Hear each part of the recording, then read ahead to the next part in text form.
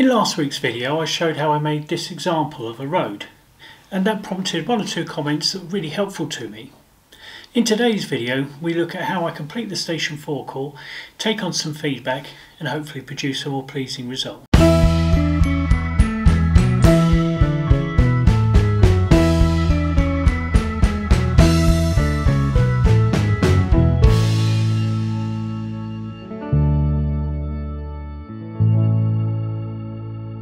Hello everyone, welcome back. So what you have here is the essentially complete station forecourt area for my Bexhill West project. The main terminus road is in, station car park is in, and there's lots and lots of this sort of brick set or cobble detail that I spoke of last time. However, after my last video, there was a couple of comments where um, the quality, shall we say, of my uh, sets in the gutter were, was criticised. And um, one viewer very, very helpfully suggested that I might make a 3D printed tool to improve the effect. So this week that's what I've done and this video will run through how I've used the tool. It's a bit of a repeat in a way of what we did in last week's episode but this time uh, I think the results are a little bit more impressive. So without further ado let's get straight into it. Now I think my main mistake in last week's video was showing a close-up. Sort of exploded up really big and to fill the screen. Um, no doubt it, the cobble effect that I'd achieved, you know, when you're looking back at it, it does look a bit, a bit ridiculous. But one has to remember that's magnified up huge. The actual effects viewed from sort of viewing distance in four millimeter scale, these, these little cobbles are tiny. However, I'm grateful to Malcolm Easter who said they should be more rectangular, and it was he who suggested that I make a, a 3D printed tool. Now, just so happens that the day after I uploaded that video, I found this picture on the internet. This shows Western Road in Bexhill and you can clearly see the, the sets into the gutter and sort of miraculously there's even a, even a Southeastern and Chatham Railway horse-drawn cart in the picture too which sort of completes the scene and confirms that what I'm doing is, isn't wrong for that sort of older period in time. Anyway, I took on board Malcolm's thoughts, and my first thought, therefore, was to make some sort of little roller device that I could roll along. So here's a picture of it. This is the basic set roller, I don't know what you would call it. Um, now, on the model, I'd included some um, sort of cast iron drain covers in the gutters, and I thought well, I won't be able to roll that roller up to the gutters. So I made a Mark II version of the roller, which looks like this which has a, a sort of 90 degree cutout in it and that allows me to drop the straight side of the cutout in alongside the, the cast iron drain and then start the roller off and then I'm able to pick that pattern up with the previous roller I just showed you. So that's it. Let's see it all in action.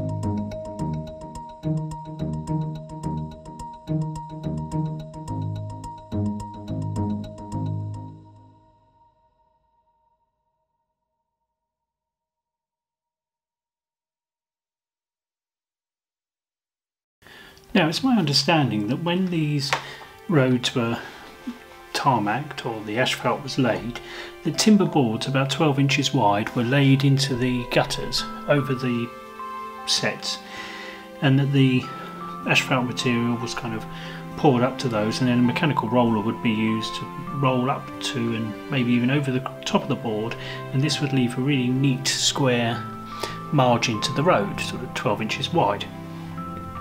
Now I've got some 4mm masking tape and this would have been ideal to mask the, the sets off.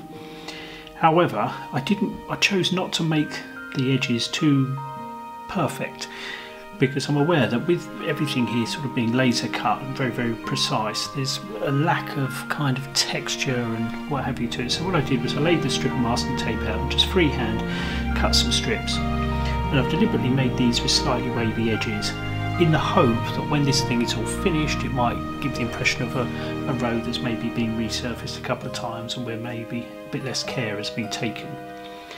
And overall I'm quite pleased with how it's worked out actually. It's just added that little bit of variety um, that makes the whole thing look a little bit more natural I guess. Anyway, this is the process of masking out all of those um, those granite sets and then it's simply a case of once this fill has been applied, peeling off the masking tape to reveal the final outcome. And so this is the final outcome with the filler applied. Now this is just a straightforward sort of fine surface decorator's filler and I've built this up in several layers um, just to just to complete the contours of the whole job so that's to put the camber on the road and also to um, to fill the car park area.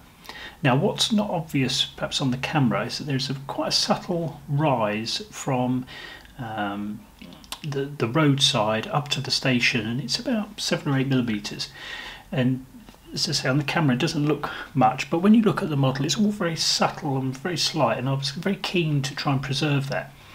So having slapped this filler down I then set to it with sandpaper around a block and just worked those um, those contours in such I thought they were sort of pleasing and nice. Now I've still got a bit of work to do um, but once I got it sort of 95% there I thought well I'll blow some paint over that will help me see the, the contours more fully and, and identify any blemishes that need filling. I'm keen to keep some of the little marks, you'll see them in a minute, um, just because they look like maybe tarmac which has broken away at the edges and, and things like that. So my next task was to just quickly throw some paint over the whole thing so here's a few pictures which show the finished effect. Now I'm still going to go over and give this another little skim of filler just to improve the last of the few blemishes before giving it the final coat of paint, but you get the idea. Now these photos show the detail sort of quite cruelly magnified, but I think you'd agree with me, or I hope you'd agree with me, the effect is already looking quite good and I'm quite pleased. Now these little figures were painted for me by my friend Michael, and when he painted them he mounted them on top of some washers and fixed them to some champagne corks I believe whilst he painted them. I'm still to remove those washers. That's another job I need to get round to soon. Here you can see the sets that I laid where the road met the station car park. I'm not sure if there was a line of sets there or not but I thought I'd add it it's a little bit of extra detail. There's even a manhole cover. It's got my name engraved on it. Um, and there you go. This is the overall look of the station approach I'm really pleased with it so far. And sadly, I've run out of time this weekend to take this project any further. But hopefully next weekend I shall be able to finish that surface uh, and get a final coat of paint onto the station car park and Terminus Road. Well, that's been the progress for this week, and I'm quite pleased with how this is all coming together.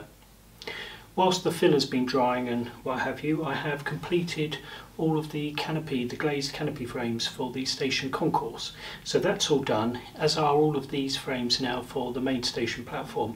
And hopefully next week I'll be able to put the whole thing together and you'll be able to see how it looks. And it's quite impressive, I'm really pleased with it.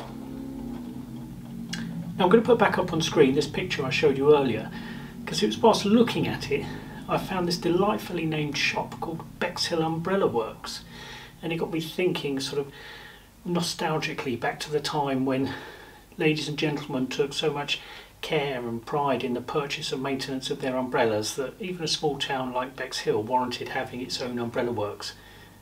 Oh how times change.